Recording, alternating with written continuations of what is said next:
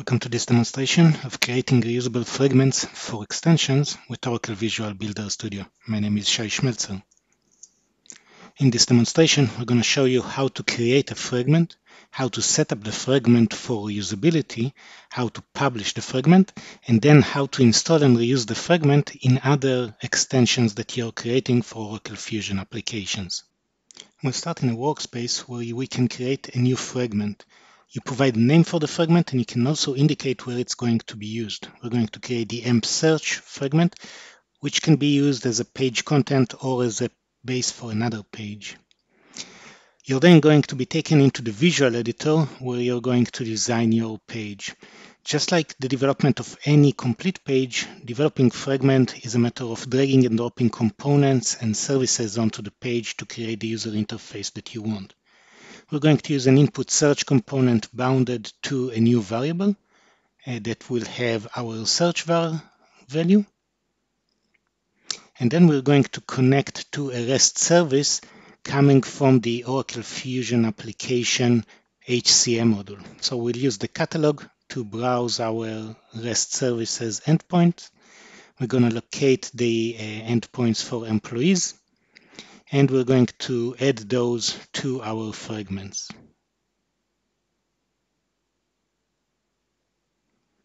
Now that the service has been added, we can go back into the user interface designer and use the data palette to pick up this service endpoint and drag and drop it into the page to create a UI artifact. So we'll drag the employees into the page to create, for example, a table that would list our employees and their location. We're fetching the names of the columns from our Fusion application. I'm going to use the display name column and then the city and country columns. We should also set the primary key for the employee. So we're going to use the person ID for that one. And we're going to use the filter criterion option to add a filtering of the display name based on the search variable that we've defined.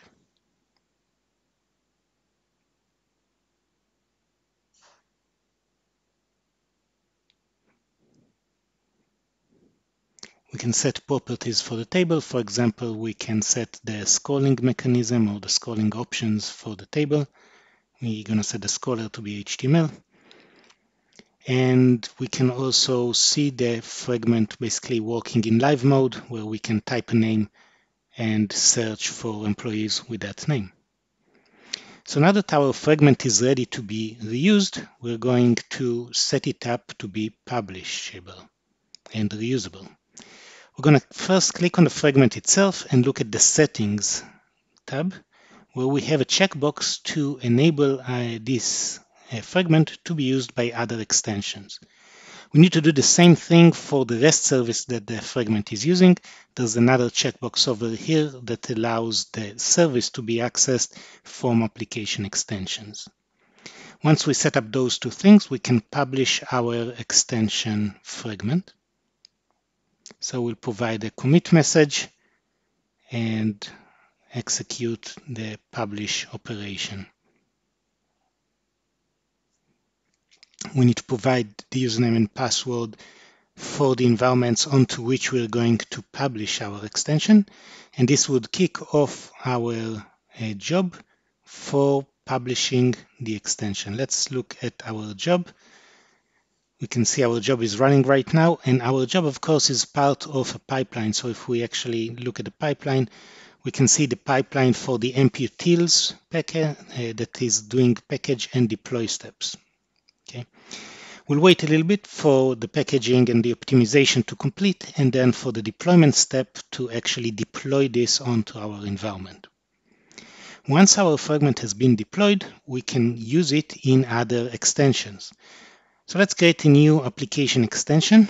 We're going to provide again a name and we're going to map it to the same environment we just published our fragment to so it would have access to that fragment. Our new application extension is opening in the Visual Editor. We can create a new App UI extension, provide again a name, and go over to design our page for this extension. Now on the left side, there's a section here that allows you to see dependencies and you can add additional dependencies. We can see our fragments, the MPutil fragments over here. So we'll click the add button to add a dependency on it. And at this point, we can now go over and add a fragment container to our page. If we're going to select a fragment now, our AMP search fragment is going to show up because we added a dependency. We can select this one add this to our page and this would be reusable in this extension and in others as well. Let's add another button to our page just to distinct it from the actual fragment. So this is now our application extension and we can actually run it to see the extension reusing the fragment and allowing us to go over, get the list of employees and perform search on it. This is how easy it is to create reusable fragments that you can use across all sorts of application extensions that you're creating with Visual Builder Studio.